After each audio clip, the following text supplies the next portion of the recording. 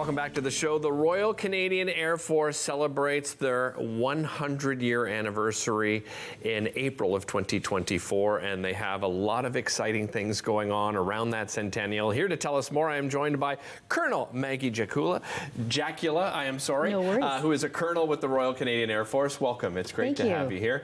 Uh, an exciting time. Let's let's talk about you know one of the reasons, of course, you wanted to celebrate is not just the 100th anniversary, but all of the contributions from all of those people over over those 100 years. Maggie, tell us more about that. Yeah, thank you so much. So, the 1st of April 2024 is the centennial of the RCAF, and our intent throughout the year is to celebrate our history and heritage while inspiring future generations of Canadians take interest in air and space in Canada.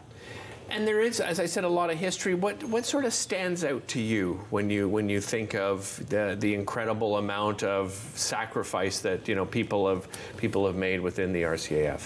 Well, it's hard to choose just one because Yeah. there are so many stories from pilots to technicians. Uh, but one of the things that has really inspired me this year is the story of the RCAF Flyers. And for uh, folks in Ottawa who haven't heard of them before, um, it's a hockey team that was comprised of members of the RCAF who fought in World War II and they came back to Canada. And one of the members found out that Canada wasn't going to have a team at the Olympics because the IOC had changed the rules about uh, amateur and pro. So they got a team together. They went over as the underdogs and they won the Olympic gold medal for Canada. So it's so great to be able to share those stories with Canadians. And and this, I guess, is is a part of that celebration, right? Is this a replica of, of the yes, jersey? that's, uh, the pretty much an exact replica, but obviously different material and short sleeve of the uh, RCAF Flyers jersey uh, from the War Museum.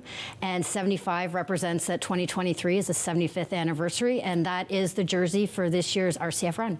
Uh, amazing. And speaking of that run, so let's talk about that run. And um, this was also, I guess, um, this medal inspired by that very Exactly. Story as well, right? Tell me about the run because it's a virtual run, isn't it? Well, it's a bit of a combo. So Okay. there definitely is the opportunity for a virtual uh, from 18th of May to the 4th of June. But we're very fortunate that our friends at Vintage Wings in Gatineau are, are giving all Ottawa NCR residents the opportunity to run the runway on uh, Saturday, the 3rd of June. Uh, you have a gala That that's night. coming up the same Yes. night. Um, the good news is it's it's sold out. So unfortunately, our viewers won't be able to, to buy tickets. Um, but you have a special guest. Tell me what that celebration is, is going to look like. Yeah, we are very excited for the gala. It's an opportunity to celebrate the first 99 years of the RCAF, and uh, we are very honored to have Colonel Jeremy Hansen, who is uh, the next Canadian who's going to go to the moon, uh, come to join us from Houston as our guest of honor. Um, good news as well is you'll be doing another gala next year, right during the centennial. Exactly. So there are a ton of events planned for next year.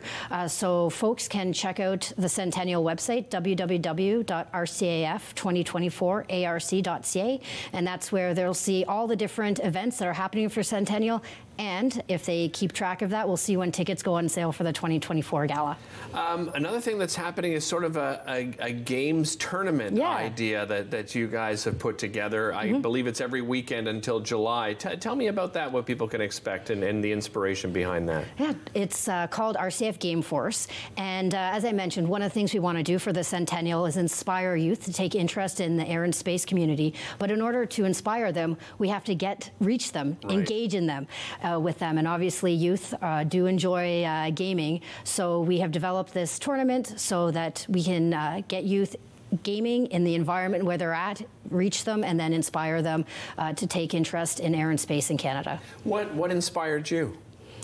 Well, really telling the stories of all the men and women in the RCAF because there are so many stories and we've heard a lot of them, but there are many more to tell. So I'm looking forward to being able to do that.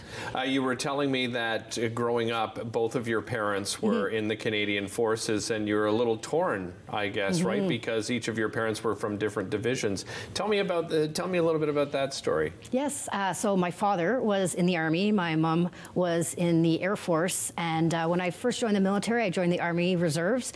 My father claimed victory, uh, but then when I went to RMC, I obviously joined the Air Force, and so uh, my mom was the ultimate winner. I love it.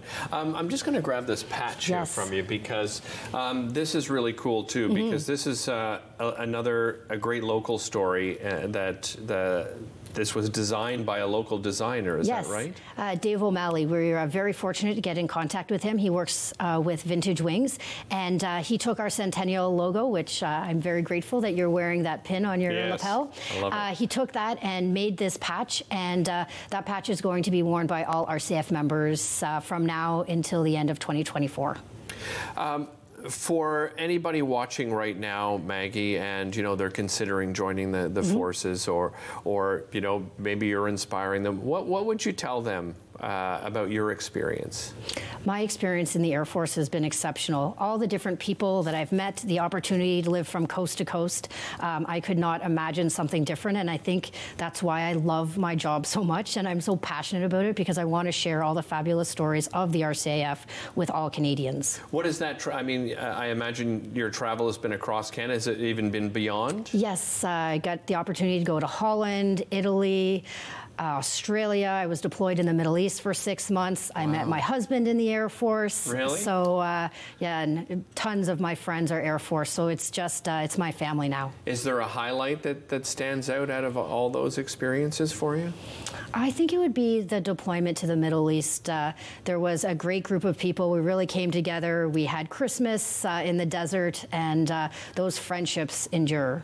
Yeah, absolutely.